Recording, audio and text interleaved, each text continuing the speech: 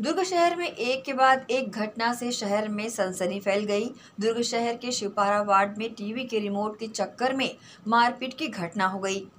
दुर्ग के शिवपारा वार्ड में रविवार को हुई मारपीट में आपको बता दें कि टीवी के रिमोट के चक्कर में दो लोगों के बीच आपस में इतनी बहस हुई कि मामला खून खराबे तक पहुँच गया। इस मारपीट की घटना में पुलिस के मुताबिक आरोपी संतोष धीमार उर्फ़ बादशाह ने राकेश तिवारी उर्फ़ गोलू को प्राण घातक ताबड़तोड़ सिर पर वार कर दिया, जिससे कि राकेश को गंभीर चोटें आई है। मौके पर पहुँची कोतवाली पुलिस ने आरोपी को गिरफ़्तार भी कर लिया है। साथ ही गंभीर रूप से घायल राकेश का इलाज रायपुर के अस्पताल में चल रहा है। एशियन न्यूज़ के लिए दुर्ग से नसीम फारूकी की रिपोर्ट।